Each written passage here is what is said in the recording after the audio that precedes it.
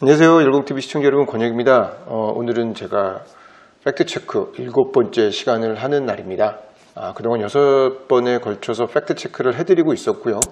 아, 그 내용에 대해서 다행히 지금까지는 크게 뭔가 이렇게 어, 너 이거 잘못했다 라고 이렇게 막 얘기하시는 분들이 없었습니다. 다행입니다.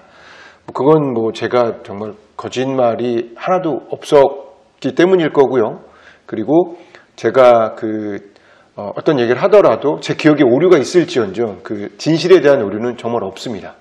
그리고 기억이라 기억의 오류라는 거는 그냥 날짜, 시간, 어떤 시기. 근데 그것도 이제 가급적이면 제가 어, 방송 전에 미리 머릿속에는 이제 어쨌든 다 정리를 한번 하고 그리고 어, 대충 조금 정리를 해놓는데 제가 가능하면 어, 날 방송을 합니다. 왜냐하면 그러니까 라이브로 방송을 한다는 거죠. 그러니까 준비는 좀 덜하고 왜냐하면 이걸 준비하게 되면 혹시 제가 이 상황에 맞닥뜨렸을 때 제가 제 멘트를 하기 위해서 기억의 왜곡, 진실의 왜곡, 사실의 왜곡을 하지 않을까 하는 마음에서 저 스스로 마음을 그렇게 좀 다잡고 있는 거고요. 그러다 보니까 아무래도 조금 어, 말이 정제되지 않고 말이 또 이렇게 어, 준비가 안 된 말들이 조금 나가고 있는 거 나가는 경우가 좀 있더라고요. 근데 어쨌든 전체적인 틀 안에서는 여러분들한테 정말 한 번도 거짓 없이 저는 어, 방송을 하고 있다고 유튜브 방송이긴 하지만 그래도 정상적인 내용을 가지고 방송을 하고 있다고 생각을 하고요. 정말 제가 말씀드린 내용에 대해서는 어떤 누가 와도 제가 같이 이야기할 수 있습니다. 물론 그 상황에 저는 정천수 대표와 이혁진 씨와 함께 있었기 때문에 두 분의 어떤 내용도 저하고 같이 있었던 그 함께한 공간 내에서의 기억과 시간에 대해서는 저는 충분히 언제든지 얘기할 용의가 있습니다. 같이 말씀을 나눌 용의가 있고요. 그리고 그 부분에 대해서 잘못으로 이야기하고 있는 잘못된 이야기, 또 추측성 이야기, 또 그릇된 방송, 그리고 어, cross check를 하지 않고 저희한테 한 번도 반론 주지, 기회를 주지 않은 그 시민, 시민 언론 열린 공감, 뭐 줄여서 저는 이제 편하게 시공이라고 하는데요. 그분들하고도 대화할 용의가 있습니다. 여러분들께서 보시면 알겠지만 저나 정 PD는 맞짱 토론하자고 초반부터 제안을 했고요. 그리고 그 부분에 응하지 않은 건 저쪽이에요. 저희가 한국에 와서 뭐 며칠 동안은 정말 정신을 가다듬고 뭔가 좀 어떻게 해보자 말까 뭐 이런 고민을 많이 하다가 뭐 바로 응했잖아요. 며칠도 아니네요 참. 바로 맞짱 토론 하자고 얘기했었는데 그거에 대해서 아무런 대꾸가 없었어요. 그리고 또 이사회도 생중계를 하자. 그래서 다 보여주자. 그러니까 누구의 잘잘못이 아니라 왜 우리가 이렇게 됐는지 다 보여주자. 라고 했는데 저쪽이 거부했잖아요. 그래서 제가 찍었고 또 그런저런 와중에 계속해서 의혹만 제기하잖아요. 의혹도 아니에요, 사실은. 그냥 한쪽의 일방적인 주장, 이혁진 씨의 일방적인 주장을 본인들이 듣고 싶어 하는 주장을 상대방에서 해주니까 본인들이 방송을 하고 싶어 하는 이야기를 상대편에서 계속 주장으로 얘기를 해주니까 정말 그거에 대한 어떤 그 두 사람, 두 어떤 그 팀, 그 코드가 맞았던 것 같아요. 그러니까 정말 잘 나와, 방송은. 그들끼리 하는 방송. 근데 99% 대부분 가짜 방송이 너무 많았어요. 왜냐하면 믿고 싶은 것을 믿고 그것을 통해서 한 사람을 나락에 빠뜨리기 위해서 이분들이 계속해서 방송을 반복하고 있었습니다. 여러분 보세요. 처음에 대표이사 해임에서부터 지금까지 계속 넘어오고 있습니다. 어디서 이 주제가 바뀌고 사건이 바뀌고 별건의 수사 같은 이 내용 어디서 본 것 같지 않으세요? 뭐 제가 그 감히 조국 그 전 장관님하고 비교할 수는 없지만 정 대표님도 그러한 과정을 거치고 있습니다. 우선 이 날이 지나기 전에 정 대표가 돌아오기 전에 해임을 먼저 걸어놓는 겁니다. 해임을 걸어놓으니까 그 다음부터는 어떤 이야기든 다 할 수 있는 거예요. 이 해임을 정당하기 위해서, 이 해임을 정당하기 위해서 어떤 이야기든 다 갖다 붙이는 거예요. 그래서 지금 해임된 이유가 처음하고 완전히 달라졌어요. 그죠? 처음에는 뭐 갔을 때그뭐뭐 수사를 피하고 뭐 도망을 가고 어쩌고 저쩌고 이러다가 불법 모금으로 넘어왔었죠. 불법 모금으로 넘어오다 보니까 불법 모금도 여 의치 않게 되고 뭐 횡령 시도 여의치 않게 됐죠. 그러다 보니까 배임을 하려고 했다. 그 다음에 뭐 법인을 만드는데 투자를 하려고 했다. 그 다음에 뭐가 나왔습니까? 그거 없, 또 없었어요. 그러니까 그 다음엔 네 과거가 이렇다. 아 이거 정말 흔히들 말하는 조중동 프레임, 검찰 프레임 아닙니까? 이게 우리 쪽에 정말 단기간에 급성장한 진보 매체인 열린공감의 대표 기자라고 하는 이분들이 그 짓을 하고 있는 겁니다. 이게 상식적으로 이해가 되세요, 여러분들? 근데 이것들도 그 사람들을 믿고 있는 그 사람들이 만들어 놓은 흔히들 요즘에 말하는 시공충이라는 그분들은 믿고 있어요. 저희 얘기는 전혀 들으려고 하지 않아요. 저희가 변명하고 저희가 해명하는 이 방송 자체를 그만하라고 합니다. 두드려 맞았고 우리 진영이 망가지니까 그만하라고 해요. 사실이 아닌데 사실이 아닌 걸 사실이 아니라고 얘기하고 있는데 가짜 추측적 추측성 방송은 믿고 사실을 사실대로 이야기하고 사실을 증명하고 있는 이 사람들에 대해서는 조용히 하라고 해요. 이게 무슨 얘기입니까? 우리가 그동안 우리 지정에서 이렇게 해왔다는 거예요. 우리 일반적으로 깨어있는 깨시민들은 이렇지 않았던 것 같아요. 저는 진보라고 보수라고 말하고 싶지 않아요. 보수 쪽도 좋은 사람이 있으면 언제든 자기가 하고 싶은 말 하는 겁니다. 진보 쪽도 자신이 비판할 상대가 있으면 우리 편이어도 비판을 할 수 있는 거예요. 근데 그게 사실에 입각해야죠. 진실에 입각해야 되고 cross check를 해야죠. 기자라면. 일반인들은 유튜브에서 그렇게 말할 수 있습니다. 근데 이분들은 유튜버가 만들어진 기자가 아니잖아요. 이미 legacy 미디어, 기존의 미디어에서 기자로서 성장을 해왔습니다.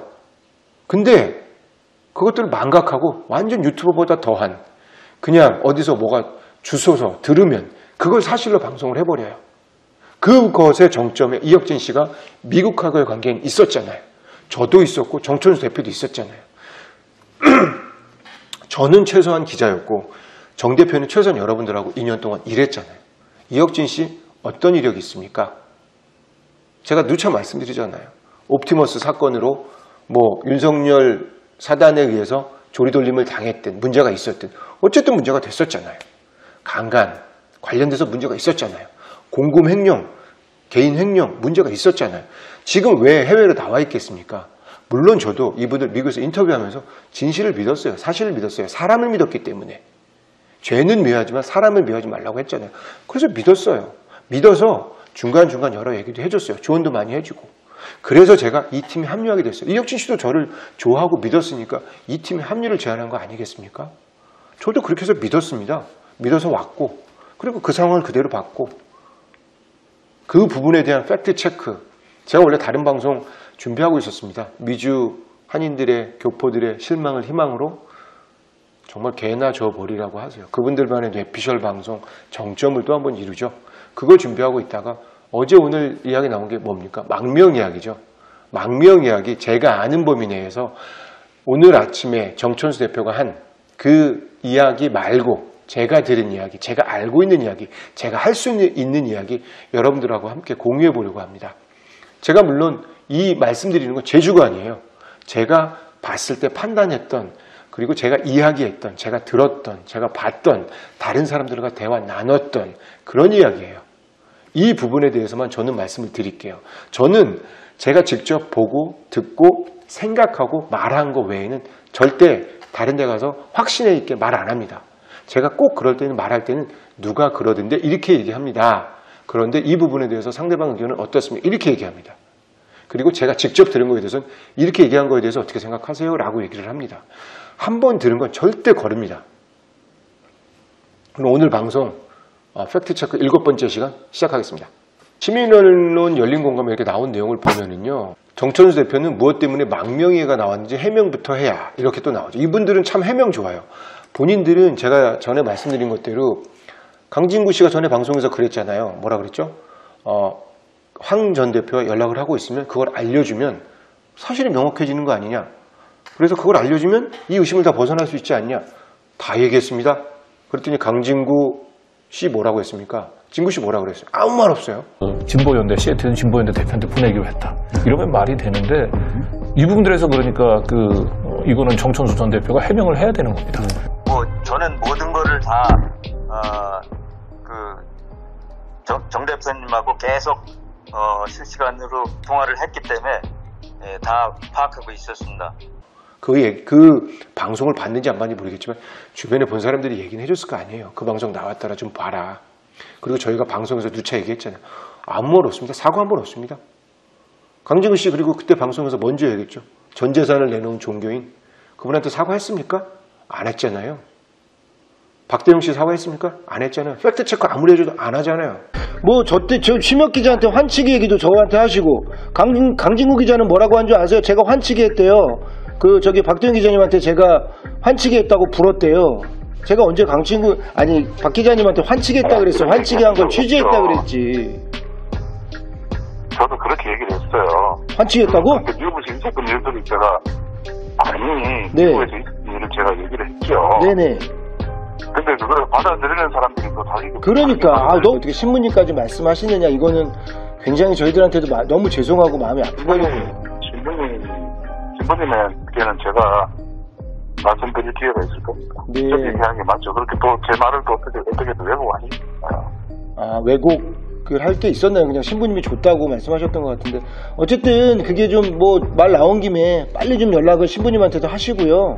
해서 해주시고 그리고 신부님 음, 네네네. 그건 뭐 네. 제가 알아서 할게요. 네네 알아서 조금 빨리만 해주세요. 네. 본인들 추측성, 남의 주장을 듣고 그걸 사실로 방송했던 거 사과 안 하잖아요.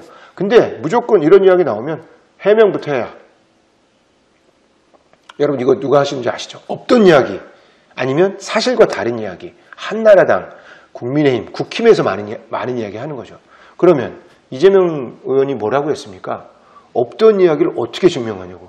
없던 일을 내가 어떻게 증명하냐고.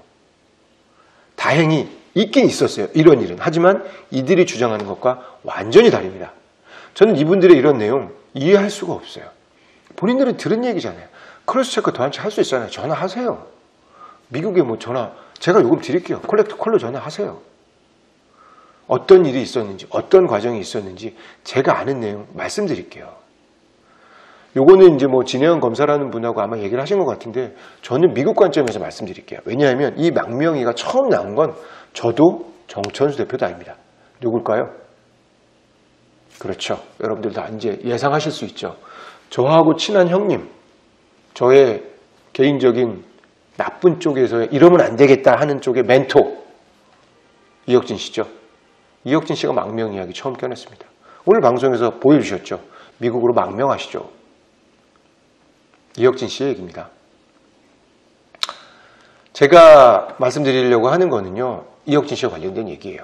왜냐하면 이혁진 씨가 처음에 말씀을 했거든요.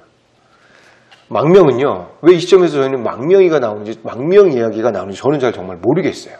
저나 정 대표나 이 부분에 대해서는 정말 생각도 안 해봤어요. 망명 이야기 저희 세 명이서 투어할 때 있었어요. 이혁진 씨가 꺼낸 얘기로. 그리고 설사 이혁진 씨가 이 과정에서 여행 투어 과정에서 꺼낸 얘기라고 할지라도 그냥 해프닝이었어요. 이혁진 씨도 그렇고 정천수 대표도 그렇고 저도 그렇고 그냥 누군가 뭐 얘기했나 보다 말았나 보다. 근데 이거를 이렇게 교묘하게 이용할 줄은 몰랐죠.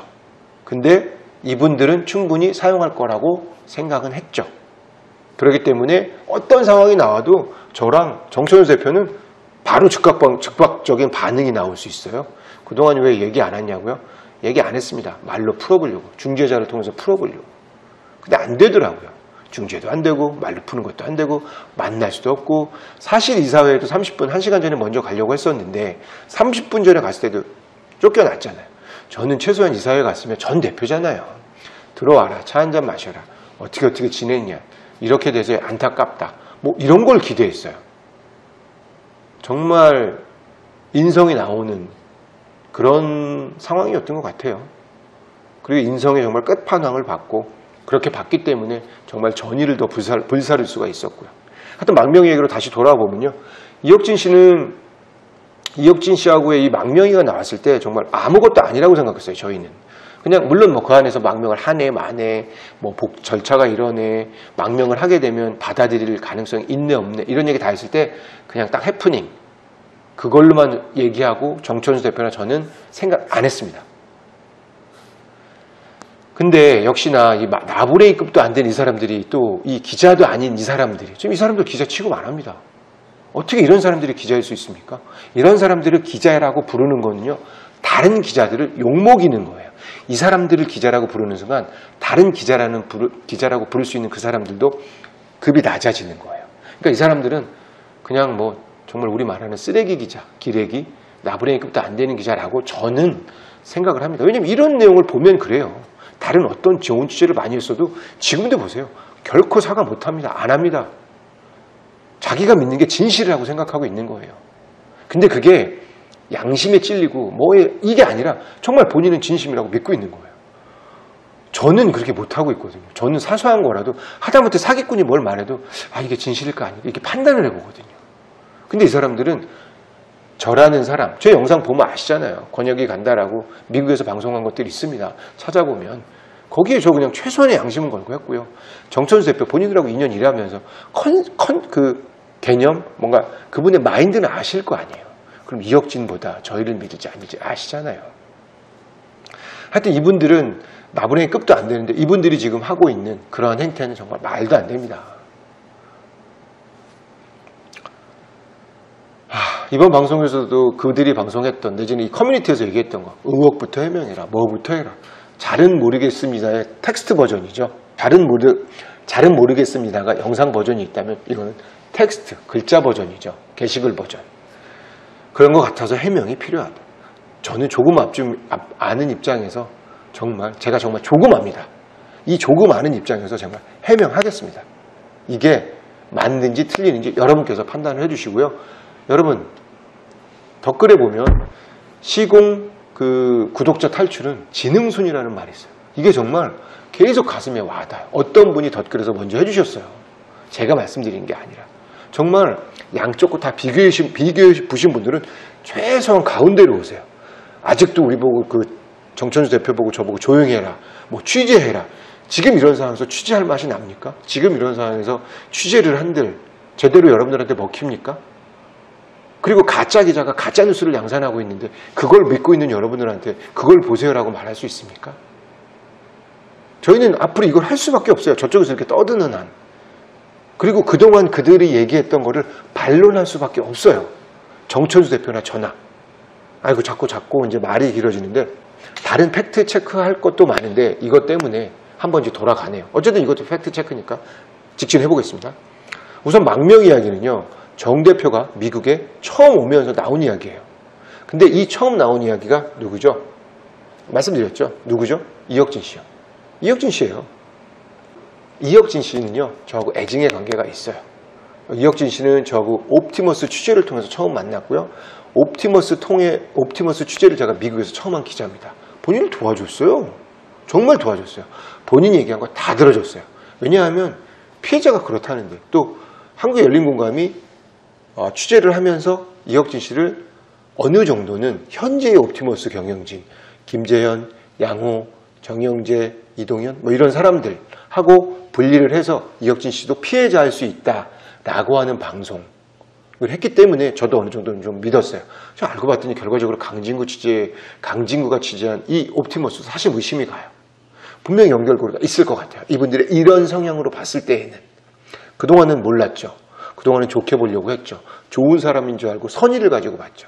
근데 이 상황이 벌어지니까 이거 안 되겠는데 한번 뭐가 있겠는데 정말 이 사람의 진위는 자신의 누명을 벗기 위해서 자신이 떳떳함을 증명하기 위해서는 모든 사람들을 매장시키겠는데 사기꾼이 사기꾼을 만난 거예요. 사기꾼이 더 큰 사기꾼을 만난 거예요. 그러다 본인이 당한 거예요. 라고 저는 판단을 할 수밖에 없어요.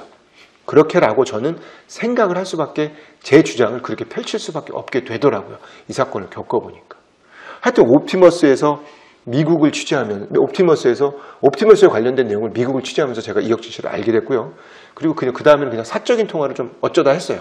근데 보통 이제 이혁진 씨가 워낙 전화를 많이 자주 하는 사람이다 보니까 저는 일하던 사람이니까 전화 자주 끊었는데 이혁진 씨는 저하고 사적 통화에서 보험 본인이 보험한다. 근데 알고 봤더니 보험회사에서 명함 한 장 받아서 자동차 보험 가입 시켜주는 거였죠. 라이센스도 없이. 저는 그거 몰랐어요. 그냥 소개는 해줘도 되는 줄 알았어요. 근데 안 된다고 하더라고요. 라이센스 없이 보험을 권유하거나 판매할 수 없다고 하더라고요. 그건 한국도 마찬가지라면서요. 그리고 두 번째, 자동차 판매한다. 자동차 렌트한다. 요것도 여기 LA에 있는 땡땡뱅 거기다 얘기했어요. 근데 가 소문이 안 좋다라고 제가 조언을 해줬어요. 제가 예전에 했던 어떤 그 커뮤니티에서 그 얘기를 해줬단 말이죠. 거기에서 한국에서 온 분들한테 값싸게 차를 빌려주지만 문제가 너무 많았다라고 얘기를 했거든요. 그래서 그 회원들이 complain이 너무 많아서 거기를 안 좋은 이미지를 갖고 있는데 거기에 대표가 약간 진보적인 의식을 갖고 있는 거예요. 그래서 저는 더 싫었어요. 진보적인 의식을 갖고 있는 사람이 돈벌이에 좀 문제가 있나? 이렇게 생각하면서 의심을 많이 해요. 근데 최근에는 제가 연락한 바가 없, 연락이 된 바가 없었는데 이혁진 씨가 1년 전인가? 6개월 전인가?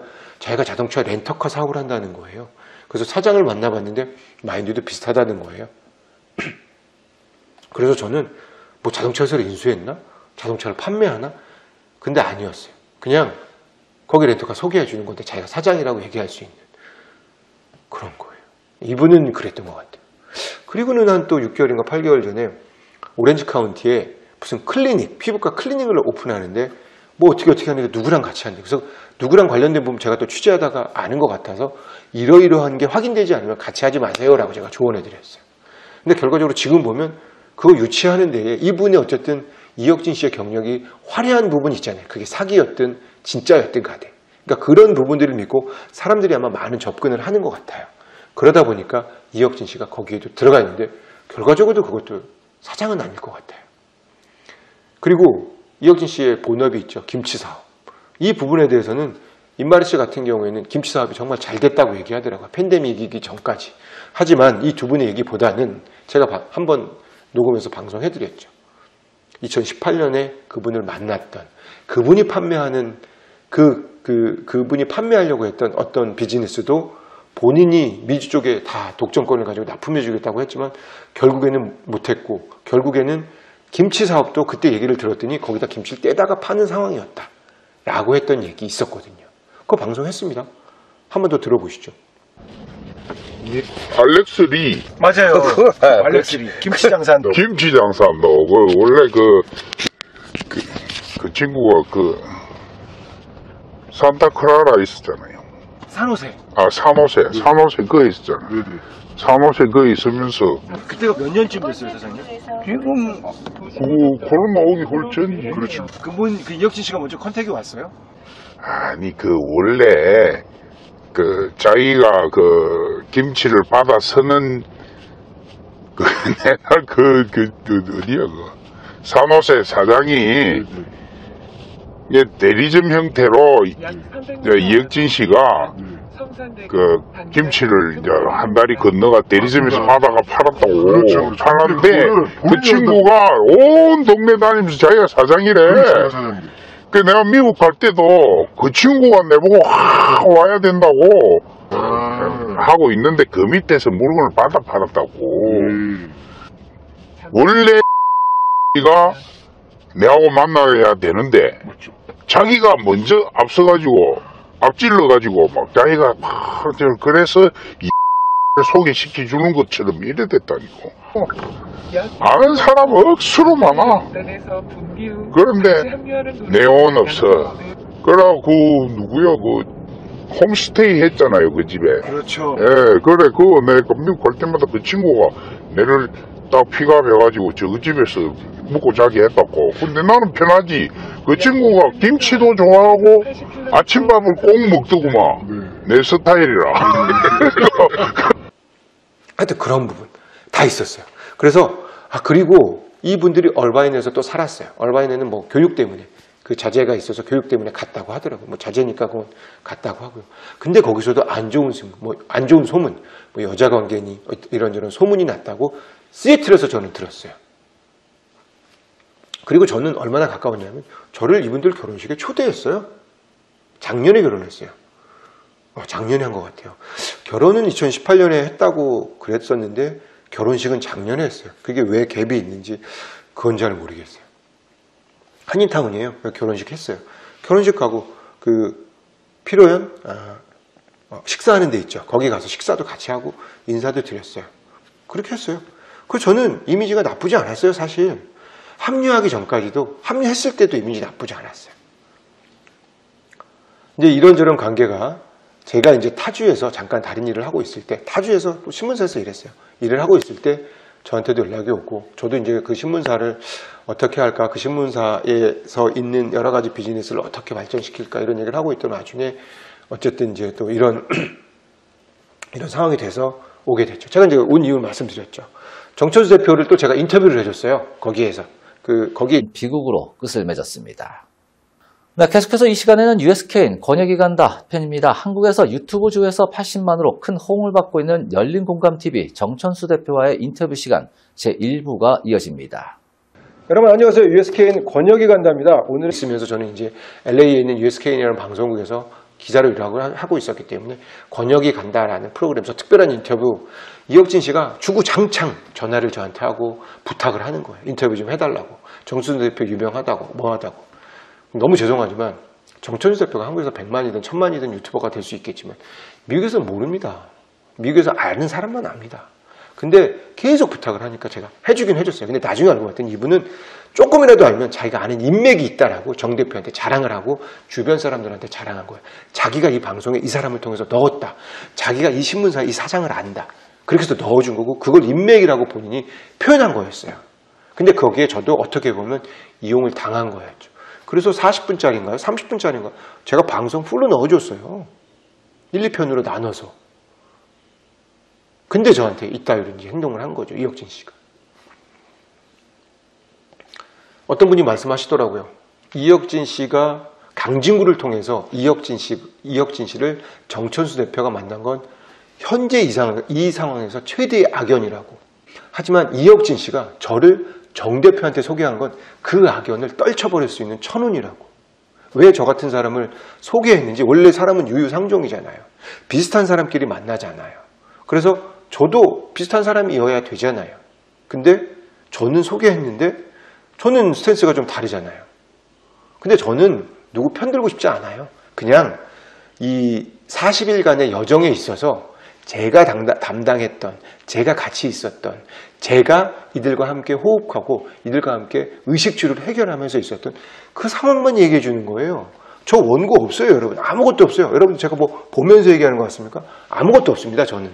그냥 머릿속에서 있는 얘기 막 하는 거예요. 그러다 보니까 때로는 정리가 안 된 얘기가 있어서 제가 라이브 방송을 좀 못할 것 뿐이고 그리고 사실 라이브 방송을 해도 사실 문제 없습니다. 보시면 알겠지만 거의 저 NG 없습니다. 그냥 계속 말씀드리는 거예요. 왜냐하면 그때 그게 그냥 말씀만 드리면 되거든. 거짓을 말하면 또 거짓으로 가려야 되지만 거짓이 아니니까. 최소한 여러분들만큼의 cross check는 여러분들 이상으로 하니까. 하여튼 제가 이제 그 이혁진 씨가 말해가지고 5월 15일 날 LA에 있는 평화의 교회라는 데서 합류를 하게 돼요. 2시인가 3시인가 그 모임에서. 그리고 5월 10, 5월 14일에, 아, 죄송합니다. 5월 14일에 합류를 하고요. 그때 첫 번째 설명회를 갔고요. 그때 한 20여 분 정도가 모였고, LA에. 그 다음에 15일 날 일요일 설명회를 하게 됩니다. 일요일 설명회를 하고 끝나서 그 요번에 좀 문제가 좀 분란이 있었던 뭐 저희가 조작했다 정PD랑 저랑 뭔가 만들려고 했다고 했던 그 분이 저희 집에 자기네 집에 오라고 하더라고요. 그래서 저하고 이혁진 씨하고 어, 정 대표님하고 그분들하고 한 서너 명 총 한 다섯 여섯 분이 거기 모였어요. 그래서 거기 모여서 이제부터가 진짜 본격적인 얘기입니다. 그 아, 신분 관련된 얘기를 해요. 근데 저는 미국 20년 살면서 20년 이상 살면서 정말 다양한 상담을 해줬습니다. 신분 문제, 기본적인 상담은 제가 다 할 줄 알아요. 다만 법적으로 깊게 들어갈 때 변호사 상담을 권합니다. 아, 제가 하는 건 전체의 3%, 5%니까 나머지 95%는 변호사한테 가세요. 세무사한테, 아, 회계사한테 가세요. 세무사는 좀 입말이시 때문에 버릇이 돼가지고. 회계사한테 가세요. 또 다른 거는 전문가에게 찾아가세요. 이렇게 말합니다. 왜냐하면 법률적인 어떤 라이센스가 없는 사람이 법적인 조언을 하는 건 불법이에요. 미국에서는 더더군다나. 그리고 그 일로 잘못돼서 상대방이 조언을 해준 저를 신고하잖아요. 저는 굉장히 큰 문제가 돼요. 그러니까 그런 거는 절대 주의하는 게 저고요. 저는 더더군다나 뭐 나부레이긴 하지만 기자잖아요. 근데 그런 걸 해오면서 제 몸을 살아야 돼요. 계속 소송 들어와요. 저도 미국에서 취재하는 게 여러분 만만치 않습니다. 뭐 하면 소송, 뭐 하면 변호사 레터 다 옵니다. 그거 다 방어하면서 합니다. 그래서 저도 여기서 나름 잔뼈가 굵어 있어요. 그리고 이제 나이 50 넘었으면 상식도 있고 지식도 있잖아요. 그럼 그 수준으로 가야지 나한테 돈 된다고 하고 돈 안 된다고 안 하고 돈 안 되니까 욕하고 남 쫓아냈으니까 가짜 방송 만들고 이건 기본적으로 못합니다. 어쨌든 다시 그쪽으로 들어가 보면 그때 다섯 여섯 명이 모인 그 자리에서 신분 얘기가 나왔어요. 그래서 제가 물어봤어요. 정천수 대표님한테. 너 결혼하세요? 결혼 혹시 뭐 혼자시면 그래도 정천수 대표님이 아 무슨 말이냐고. 자기 와이프한테 죽는다고. 그래서 결혼은 절대 안 된다고. 왜냐하면 이건 솔직한 얘기입니다. 미국에서 신분 해결하는 거 결혼이 제일 빠릅니다. 이건 뭐 여러분들의 힌트를 드린 거고. 하여튼 결혼이 제일 빠릅니다. 뭐 어, 관광비자로 들어왔던 그 다음에 ESTA로 들어왔던 비이민 비자. 여러분 미국에는 비이민 비자라는 게 있고요. 나머지는 영주권이에요. 그 다음에 시민권이에요. 비이민 비자 여러분 뭔지 아세요? F1, M, O, 그 다음에 B, B1, B2가 이제 에스타 대신 받을 수 있는 관광 비자고요. 그 다음에 비자가 너무 많아요. F 비자 이런 것도 있고. 그걸 모두 다 비이민 비자라고 해요. 여러분 이민은 뭐니까 다른 나라 가서 사는 거예요. 다른 나라 가서 사는데 비이민으로 가서 사는 거예요. 영주권은 뭡니까? 이민 가서 사는 거예요. 시민권은 뭡니까? 그 나라 가서 사는 거예요. 이렇게 정의를 해줘야죠. 비이민 비자 이분들은 몰라요. 비이민 비자 무슨 비자 무슨 비자 그래서 에스타 비자라고 자꾸 얘기하는 거예요. 제가 정 대표님한테도 그랬어요. 에스타 비자 아니라고 전자여행 허가서 단기간에 본인이 어떤 일을 어떤 일을 어떤 관광을 어떤 상황을 가서 진행하는 거라고 에스타 비자 아니라고 전자여행 허가서라고 그 안에 보면 쭉 에스타라는 말이 그거의 약자예요. 그리고 한국도 뭐예요? K-ESTA라고 있어요. 캐스- K-스타인가? 하여튼 그거 있어요. 그게 미국 따라서 만든 거예요. 한국은 이제서야 미국 따라서 미국 시민권자가 한국에 갈 때 그 비자 등록, 그, 그 전자여행 허가서 등록을 해야 돼요. 코리아 전자여행 허가서. 그 비자도, 그 에스, 그것도 있어요. 그거 저도 자꾸 비자랑 헷갈리는데, 그래서 정 대표님한테도 비자 아니다. 그건 ESTA라는 전자여행 허가서라고 얘기를 했던 거고요. 그때 결혼 이야기가 나왔던 거는 그 전자여행 허가서로 신분을 해결하기, 위해, 신분을 해결하기 위해서는 왜냐하면 미국에 조금 더 한 6개월 정도 더 체류해서 1년 정도 체- 체류해서 시민 포탈을 만들려고 했던 거예요. 다른 이유 없어요. 도피? 이거는 나중 문제예요. 시민 포탈을 만들고 들어가서 재판을 받으려고 그랬어요. 시민 포탈을 만들고 들어가서 저놈들하고 싸우려고 그랬던 거죠. 저는 그렇게 이해했어요. 여러분들은 도피라고 하지만 여기 있는 사람들 다 말렸어요. 들어가지 말라고. 그냥 여기에서 시민 포탈 제대로 만들어서 만들어 놓고 뭔가 하시라고. 그때 정 대표는 항상 시민 포탈 만들고 들어가야죠. 싸워야죠. 어차피 한국 갈 건데. 어차피 저는 한국인인데. 그래서 결혼 얘기가 나왔는데 그 다음 두 번째 얘기가 아, 그 다음에 거기서 참 망명 얘기 안 나왔냐. 그래서 제가 얘기했어요. 어, 전자여행 허가서로 들어오면 결혼 아니면 아무것도 신부를 해결할 수 있는 방법이 없다. 라고 딱 얘기했어요. 그랬더니 이혁진 씨가 크게 화를 냈어요. 당신이 뭘 한다 그래? 변호사가 된다는데. 이 얘기했어요. 그래서 제가 그때는 변- 그, 그 이혁진 씨 만난 지 이틀째였고 아무런 트러블도 없었고 아무 말도 안 했고 저는 거의 처음 말한 거예요. 그러면서 이혁진 씨 성격을 파악하게 됐죠. 아, 이 사람 남의 조언을 못 듣는구나. 자기가 아는 지식이 전부구나. 라고 하는 판단을 순간적으로 하게 됐어요. 그러면서 이혁진 씨가 하는 말이 변호사가 다 된다 그랬다고. 변호사가 다 해결해 준다 그랬다고. 해결할 수 있다 그랬다고. 왜 당신이 그딴 소리로 얘기를 하냐고. 그래서 제가 얘기했어요. 아, 형님 그게 아니라 제가 아는 지식의 1년 전까지, 6개월 전까지의 지식은 에스타로 들어오면 해결할 수 있는 방법이 신분으로 해결할 수 있는 방법이 여행하는 아 결혼하는 것밖에 없습니다. 나머지는 안 됩니다. 나머지는 설사 된다 하더라도 불법이에요. 그랬더니 한 번 더 저한테 된다니까. 아 그럼 됐습니다. 그럼 그 된다는 그 변호사 나중에 만나보시고 우린 여기서 얘기 끝냅시다. 그리고는 다른 얘기했습니다. 끝까지 된다고 우겼어요. 정 PD님도 들으셨을 거예요. 기억이 만약에 나신다면. 그리고 나서요. 뭐 다른 얘기 다 뺄게요. 망명으로 이제 바로 갈게요.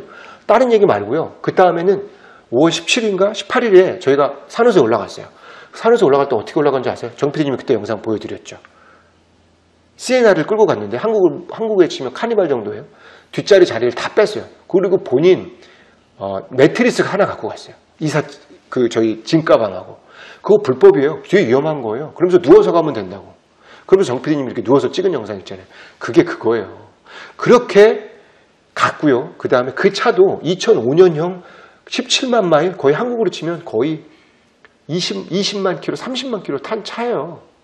그거 차 타고 차 산다고 빌렸다고 7,500불 주고 저한테 샀다 그랬어요. 근데 나중에 보니까 그거 뭐 렌트했다고 뭐 했다고 돈 까졌다고 아마 시카고에서 받아간 돈이 1,800불이 그건 거 싶어요. 거기 그 돈 빼고 그 돈 해가지고 뭐 아마 이렇게 한 것 같아요.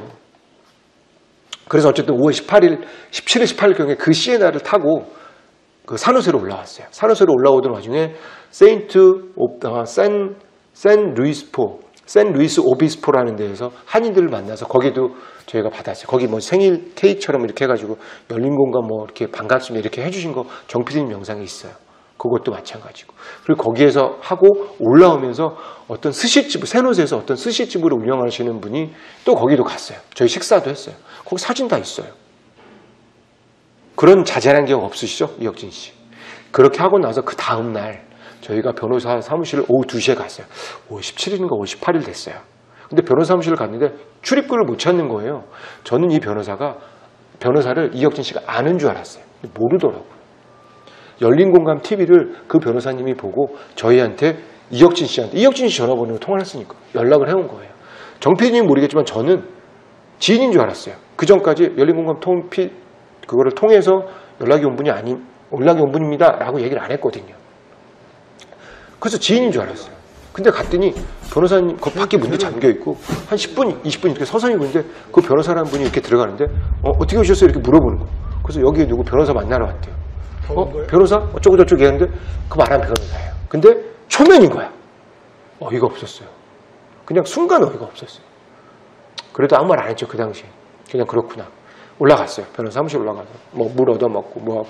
이게 가운데에 뭐, 가운데에 이렇게 코비드 때문에 구분해 놓는 그런 창을 놓고 셋이 앉고 변호사님하고 얘기하기 시작했어요. 신분 해결하고 뭐하고 이런 얘기 막 나왔어요. 변호사님 첫 마디가 뭔지 아세요? 정 PD님 혹시 결혼하셨어요? 똑같이 말하는 거예요, 저랑. 그때 정 PD님이 하하 웃으면서 어이 그거 안 했, 그러니까 결혼했고 그건 생각이 없다고. 똑같이 말했습니다. 한- 정말 똑같이 말했어요. 그래서 제가 거보라고 이혁진 씨한테 거보라고 변호사님 똑같이 얘기하고 있지 않냐고 결혼했냐고 묻지 않냐고 이혁진 씨 가만히 있더라고요. 그리고 나서 어떤 뭐 영리법인, 비영리법인 그 그 그 그 회사 대표를 뭐 누가 할 것인가 뭐 할 것인가 하면서 그 얘기를 하고 있는 와중에 그 얘기 거의 끝났고요. 그러다가 느닷없이 신분 문제 얘기하다가 갑자기 망명 얘기를 거기서 이혁진 씨가 꺼냈어요. 변호사님 혹시 망명에 관련돼서는 정 대표님이 신청할 수 있을까요? 그랬더니 변호사님이 얘기하는 거예요. 거기에서 망명에 대해서. 망명은 이러이러한 절차가 있습니다. 망명은 이러이러합니다. 그래서 케이스는 만들어 볼 수 있겠지만 잘 모르겠습니다. 그거에 대해서는 뭐 해달라고 하시면, 그러니까 의뢰를 하시면 알아보거나 아이디어를 들을 수 있겠지만 그게 되는지 안 되는지는 모릅니다. 라는 식의 얘기가 오고 갔어요. 그때 제가 얘기했어요. 나오면서 저는 뭐라고 얘기했냐면 사실 저도 망명을 찾아봤어요. 망명을 찾아보니까 한국은 해당이 안 되는 것 같았어요. 제 생각에. 그래서 저는 아예 얘기 안 했어요. 망명은 안 되겠다. 한국에 여러분 왜 해당이 안 될 것 같으세요? 기본적으로 미국이 망명을 받아주는 국가가 여러 나라가 있는데요. 미국의 적대적인 국가, 이슬람 국가 있죠. 거기에서 핍박받은 종교적으로, 정치적으로, 기타 다른 이유로. 그리고 북한, 그리고 중국 이런 데서 막 종교적으로 막 그, 그 억압하고 눌려서 탈출해 온 사람들한테는 북한, 탈북자들, 영주권 나옵니다, 실제로. 더 많이 줍니다. 한국은 지난 10년 동안 거의 몇백 명 시청했는데 10명도 안 됐다고 제가 얘기를 들었어요. 20명인가? 10명도 안 됐다고. 뭐 있긴 있나 봐요. 그래서 그 기준이 어떤 글을 찾아보니까 민주주의 국가에서 민주주의 국가로 망명이 안 된대요. 왜냐하면 어떤 죄를 어떻게 저지르고 넘어올지 모르니까 망명이 안 된대요. 그래서 저는 그냥 꿀먹은 벙어리처럼 그 얘기는 잊어버리고 안 하고 있었죠. 나오면서 제가 그 얘기는 했죠.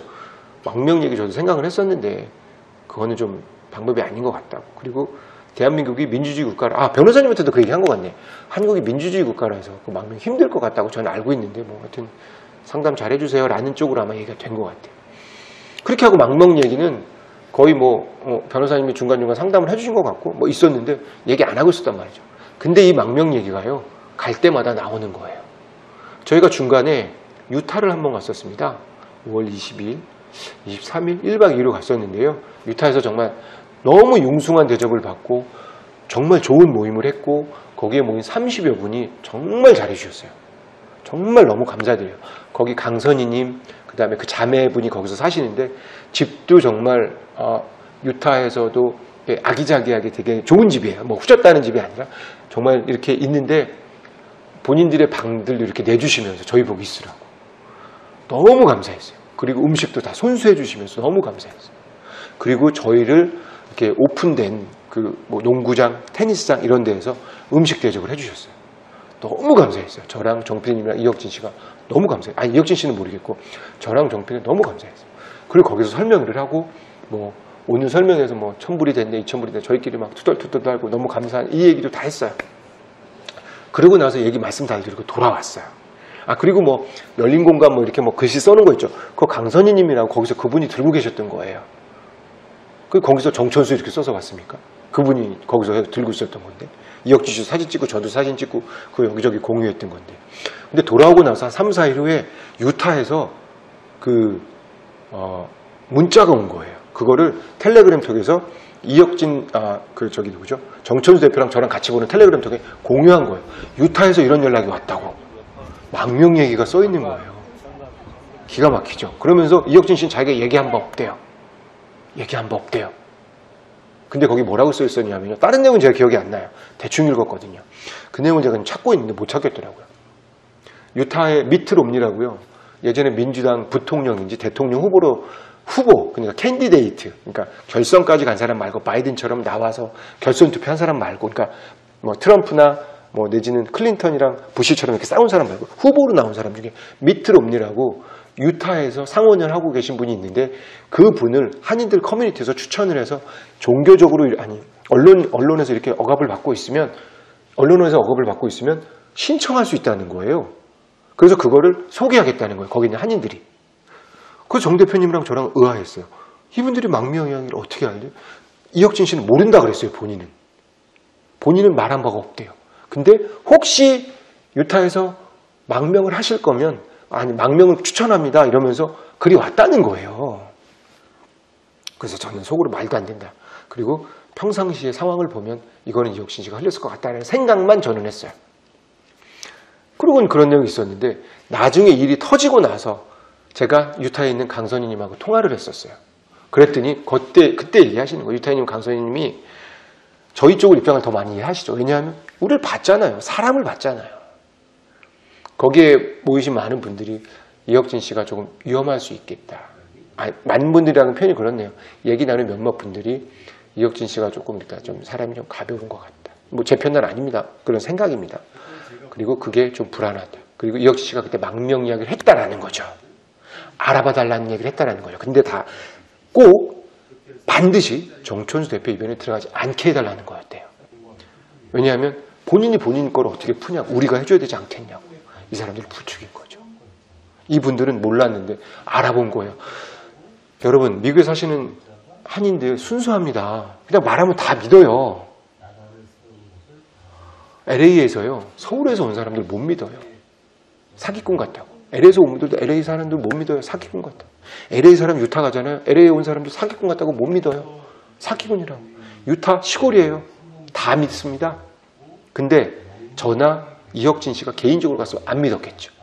근데 정초원수 PD라는 얼굴이 작고 익은 좋은 말을 옳은 말을 많이 하신 분이 같이 갔으니까 우리 세 명의 크레딧이 얼마나 높았겠어요. 신용이. 근데 거기다 대고 그렇게 얘기를 한 거예요. 정 PD님이 하지 말자 그랬어요. 그거 돼가지고 소문나고 뭐하고 설사 되더라도 하지 말자. 그리고 관심 없다 그랬는데 도대체 왜 그러냐. 이혁진 씨한테 거기서 우리 셋이 있는 데서 면박 주면서 얘기하지 말라 그랬어요. 말도 안 되죠. 하, 참 이렇게 얘기해도 정말 40분, 30분이 흘렀네요. 그리고 아, 망명 얘기 계속 그냥 바로바로 넘어갈게요. 그리고 나서 이- 그 저기 한 저희 유타 갔고 갔다 오고 나서 다른 데로 떠날 때 시애틀로 떠날 때 바로 전날인가 전전날인가 변호사님하고 변호사님을 집에다 초대해서 아무것도 없었어요. 이삿짐도 이제 막 들어왔네. 그 이사 그 집도요. 제가 나중에 말할 게 있겠지만 저희 갔을 때 짐 하나도 없어가지고 타겟 타고 아이케아 가서 제가 쓸 책상, 책상 그다음에 간단히 쓸 뭐 이런 뭐 집기류 사왔어요. 텅 빈 집에 저희 그냥 지키라고 보냈어요.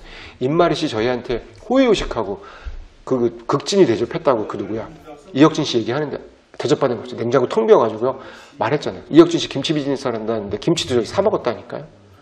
거기에 그분이 비즈니스를 해서 그분이 아는 사람 통해서 뭐 들어온 거 단 한 개도 없어요. 그냥 다 사 먹었어요. 다 그 돈에서 충당해서 먹었어요. 때로는 정천수 대표님 개인 돈 쓰고요.